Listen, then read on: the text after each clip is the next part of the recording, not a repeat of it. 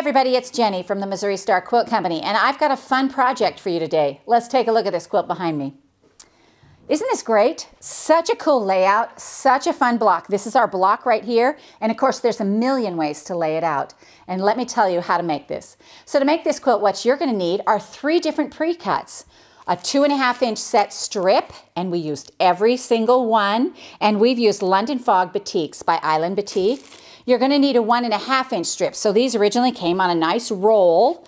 Uh, and you're going to need one of those. And, and, then I used three of this little pre-cut, which is two and a half inch square, and it's double the size. So you get 84 uh, squares in here. They're just little two and a half inch squares cut up, and I used three of those. So for your outer border, you're going to need one and three quarter yards, and it's, it's a six and a half inch border. And for your backing, look at this. We took one of the prints and used it. This print actually comes in 108 wide. And um, we used two and a half yards of that. So two and a half yards of a 108 backing. So when making this project, I literally used one pack of these two and a half inch strips. But Island Batik strips tend to run a little bit longer. So if you run out of strips, you can cut it out of your border yardage. We put a little bit extra in there so you could cut some strips out of there uh, if you need some extra strips to finish up your blocks. So let me show you how to make this. We're starting with a two and a half inch square of white and a two and a half inch square of color. And um, I'm going to show you exactly how I did this. This is how I tend to sew. And what I'm going to do here is I'm just going to cut a two and a half inch square out of my strip like this. And I'm going to put these together right sides. And I'm going to sew corner to corner on this. So that means you can press the line or draw the line. And I'm just going to lay this across here and draw the line. And we're going to sew right on that line. Not either side, but right on it. Let me make sure you go corner to corner. And we're going to sew right on top of that line. So we'll come over here and sew that. This is all about bordering and bordering and bordering. Now sometimes when you start this um, sewing, you're gonna, this line, you're gonna draw your lines for a while and then you'll get so used to it, you'll start just sewing straight across the block. And when I do that, I just wanna tell you this because sometimes this happens. When I do that, sometimes my blocks aren't exactly square. So if you fold this block, you can see which side actually makes the most square block because sometimes it's one side and sometimes the other. See this one leaves a little bit extra here, so I'm going to fold it from this side, and so, which means I'm going to cut off the side that I think is a little bit wonky. All right, so there we go. Now we have this block done. Every block gets bordered with an inch and a half strip. So we're going to start right here with an inch and a half strip. And I'm just going to cut off the, uh, the selvage right here. And I tend to use my scissors for this kind of a thing because um, I just do. I'm old school. So I'm going to put my strip, I'm going to sew a strip on here, cut it off, and sew a strip on the other side. So we're bordering each corner, I mean, we're bordering each little block, and we're bordering on the color. So the color always touches our background. So I'm going to bring this over here and sew around it.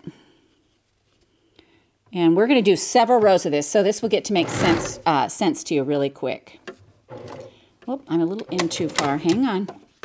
I just veered in right there, so I'm going to start over and make sure my quarter inch. You want to keep your quarter inch pretty close on this one because your, um, your blocks will get kind of wonky if you don't. All right. So there's my block, and I'm going to use my, I'm going to, hopefully you can see this. I'm going to use my block as the cut mark. So actually you can just lay your ruler along the edge of the block and cut before you press it open. So uh, I would, you know, if it were me, I'd have a little nest right around me with an ironing board and a, and uh, my cutting mat, everything right there, because this is pretty iron cut intensive. All right, so now we've got, we're putting our two and a, our one and a half inch strip on the other side. And again, I just use my strip as my cut line. And you can do that with a scissor or with your rotary cutter and just trim that off. All right, now we're gonna press this open. And now it's time to add our first layer of color. So this is the block that we're working on right here. And so we've got our little two and a half inch square in the center. Now we're adding, we've added our white. Now we're adding our first row of color. And that's a two and a half inch strip right here. So I'm just gonna grab one that's different. Now in the pattern, it will tell you exactly how, uh, what size these need to be cut. But of course, I just grab the strip and run with it. So I'm gonna put this, the same color on both sides. So I'm gonna sew down on this one right here. Just straight down. Keep my quarter of an inch. And then before I press it open, I'm gonna use that as my, my mark to cut it. And then I'm just gonna finger press. Now, honestly, when you're dealing with batiks, it is so, they're so easy to finger press. They just lay back so nice. And we're gonna go down this side.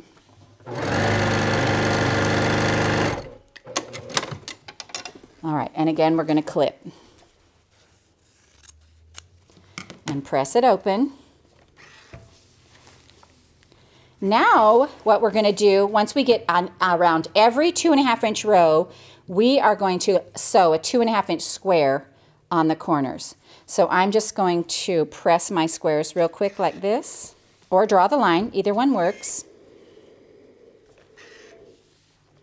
And I'm gonna put a square on each side. So right here, and you always wanna make sure that you're going from the outside of your strip in, and from the outside in on both both ones. Now this one right here, this one didn't uh, iron very well. My, my line, you want your line right in the middle, corner to corner. And uh, my line didn't, I didn't take good time with that one because your line corner to corner, that's going to be your sew line. So again, I'm putting this on and then these are going to be cut this way and sewn that way as well. So we're going to the machine and sewing on the line and then I'm just going to flip this around, make sure it's still lined up on the corner.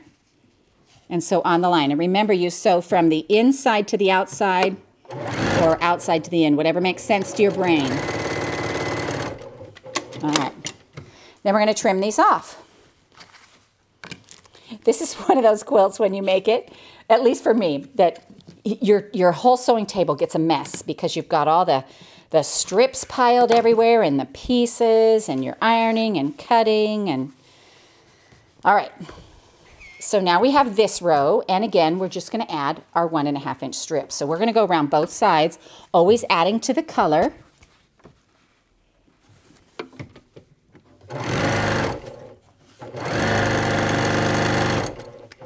and I'm just going to clip this with my scissor right here Finger press it up and sew down the side.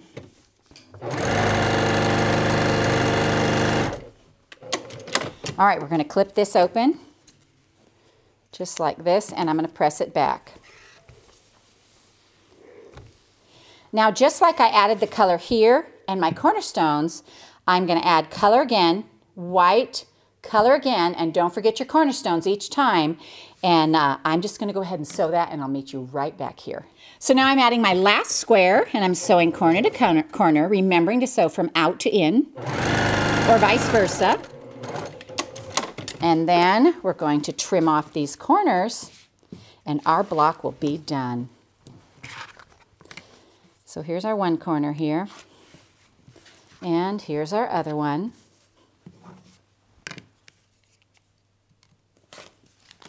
There we go. Alrighty, so then I'm just going to press these out to frame up my square. Give it a nice shot of steam. There we go. And look at that, our block is done. So this is how you put the blocks together. Now, the way we did this, we laid it out several different ways. This is really a creative block and fun to see in all different ways. We kind of liked, um, we even sashed it at one point, but we kind of liked how it all came together in this center right here to make the star, or the box kind of starish thing in the center like this. So like this. So let's look at the center of the quilt. So when I do, whenever I do a quilt like this that has one center where it all comes together, I actually lay the center out first, and then I look and I see that these two come together and these two come together, and I lay them up, up, and then I go out, out this way on all four sides, and then I turn these so they make sense. So you're actually sewing these two together and these two together to make all your top, side, and bottom blocks. These corner blocks are all going the same direction. So you'll just want to look at the diagram and follow that to be able to make your quilt. But it makes a great quilt. It's about 80 by 80, really fun, just straight border sewing. And we hope you enjoyed this tutorial from the Missouri Star Quilt Company.